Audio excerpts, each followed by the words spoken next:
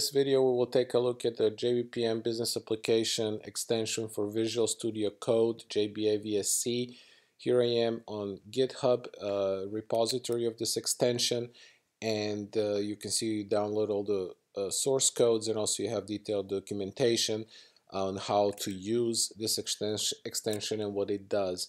Uh, this extension is also available in the Visual Code Marketplace and also inside your uh, Visual Studio Code IDE just go to the extensions button and search for JBPM and it should be the first one uh, to go. In this video I will do a demo about the new version 060 which includes a big upgrade which is also debugging your JBPM business application. So we will take a look at generating and also debugging uh, your apps um, for JBPM. So let's take a look. Uh, I will go to my Visual Studio Code and here I have opened my editor in a sample directory TTT where I want to generate my business application. Here uh, in order to launch the extension I will open up the command prompt palette and I will first go to generate JBPM business application. This is one of the new commands that the extension adds. Once I click on that I will be prompted with uh, quick options if I want to generate the default or configure my business app. Let's go ahead and configure it. We want business processes, so we will hit business automation. Uh, the name for our app, let's call it my business app. And the package is okay. Now here you can select different versions. Let's say select the 7.17.0 and we want just business processes. We don't want case management yet, so we will click on business assets. Now we confirm yes, we want to generate it, and this will generate the um, JBPM business application zip file and also extract it for you. So now we have three modules, KJAR, which includes our business processes, our model, which includes reusable resources, um, uh, stuff like that and also our service app which is our Spring Boot application that we're actually going to launch and then also debug. So one of the things right now um, until the new community release of JBPM comes out is there is one small change we have to do to our My Business App service. Um, if you go under source main Java, um, you see one of the generated files is the default um, web security, which adds basic HTTP authentication uh, for our REST services. How, this is fine, however, for third-party apps such as this extension, for example, we all have to enable um, CORS or cross-origin resource um, capabilities. For that, um, I have a very quick gist here that you can come to, and I'll link it also in the description. You just have to copy it and paste it in there and that's it and all this does is adds CORS configuration uh, to our business application so our extension can access its REST resources. And that's pretty much it. Now that we have that in our KJAR under source main resources we see that currently we have no business processes available that we want to debug. Typically you would have your own here the ones that you want to debug. But for sake of this demo I have created um, a small repository, and I'll link it in the description as well, called JBAVSC demo resources, where I've added, excuse me, a number of uh, business processes, some SVG images, and the process uh, forms that you can use to test with. So let's go ahead and clone this uh, repository, and we can for that go into our terminal and say git clone and give it the git URL and that will add the JBAVSC demo resources here. Now I'm going to go into it. Um, all right, and I'm going to copy everything into our kjar source main resources directory. Okay, so now we see in our kjar we have a bunch of processes that we can run and debug and go from there. Now what I want to do also inside the IDE, where am I? All right. So I mean, I want to go back to my um, my business app service, and here I want to give permissions for our launch script um, to be executed and I'm just going to launch our um, application also inside the editor with launch sh clean install. So what this will basically do is it will go ahead and build our KJAR model and service modules. It will deploy, uh, so compile and deploy all our business processes into a container uh, which our service will have access to and it will also compile our service or uh, Spring Boot application and also launch it for us. So let's just wait for a second for this to launch. It shouldn't take long at all. Alright, so this is already launching and it should be done in a second. So let's go ahead and close. Well, actually, I want to leave it open just to show something. Alright, so our business application has started and at this time you can minimize your terminal and you don't need it anymore. As we see here in, um, in here, our default authentication username and password for REST services is user and user. And you will see why I'm, showing you this. So let's go ahead and open up the command palette again.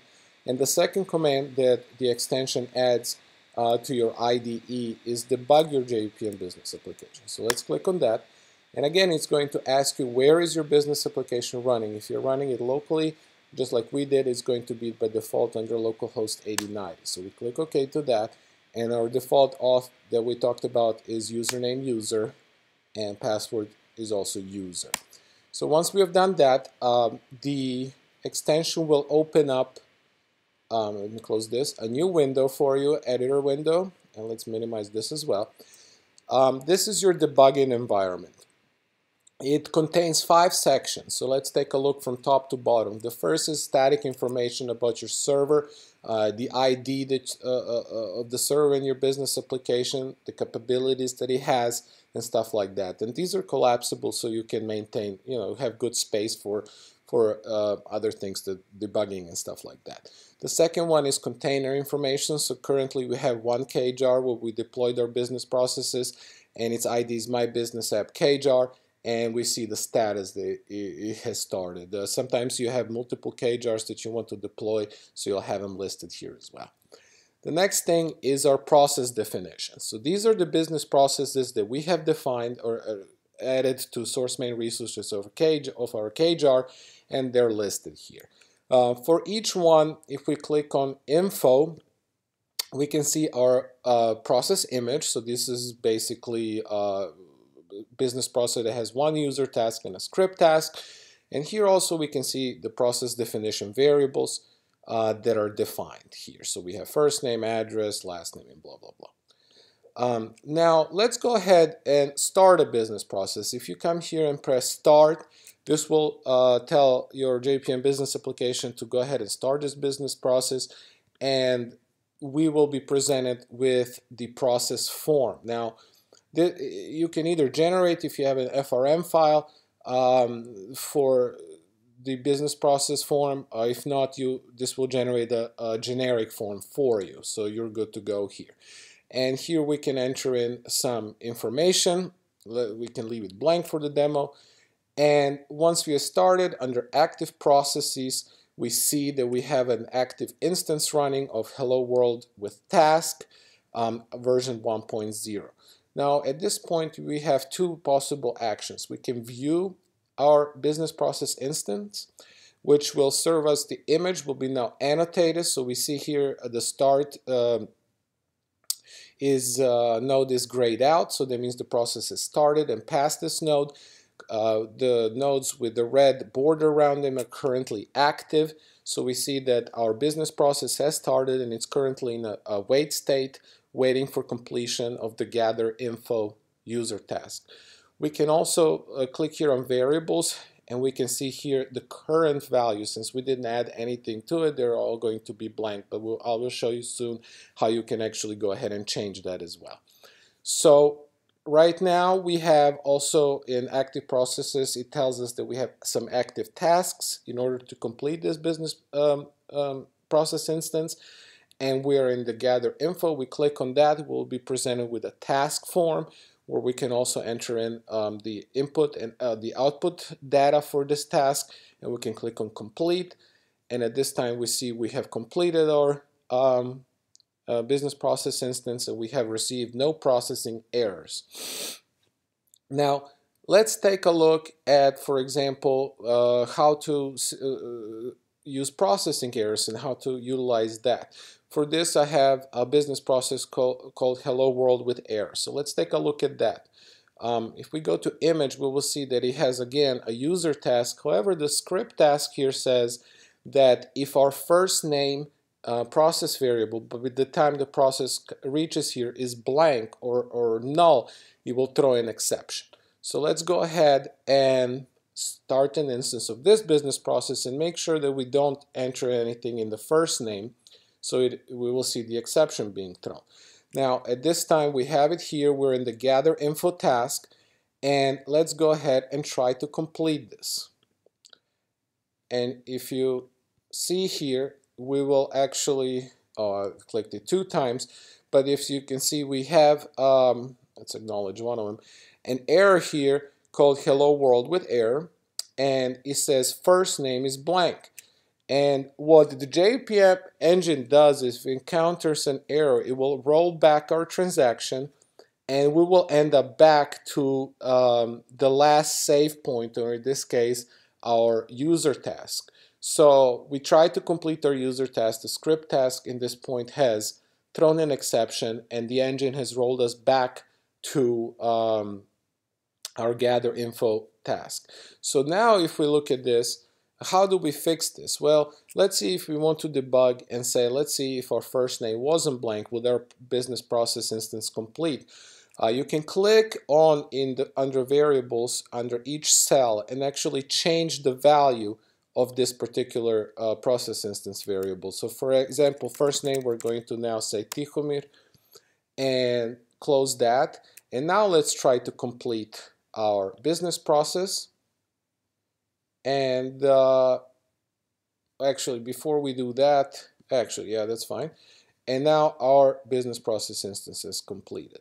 Now, the processing errors, they will stay here, and there is an ACK button. This basically tells you as a developer, okay, I'm acknowledging that this error has happened. There is no, it doesn't really do anything except letting you know um, what errors happened um, you can either acknowledge them, which will get rid of them in this list, or you can keep them there during your uh, uh, debugging to see all the errors that happen during your debug session.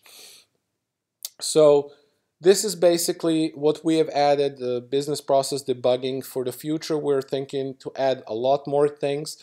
Um, there is also a big issue with editing business processes, creating business processes that the extension is uh, going to handle soon and um, a lot more things. Again, you know, we're looking for contributions. Uh, we're looking for help from our community. If you're interested in writing uh, VS Code extensions and would like to help us get this extension much better than what it is now, uh, please let us know. And uh, thank you very much for watching and have a great day.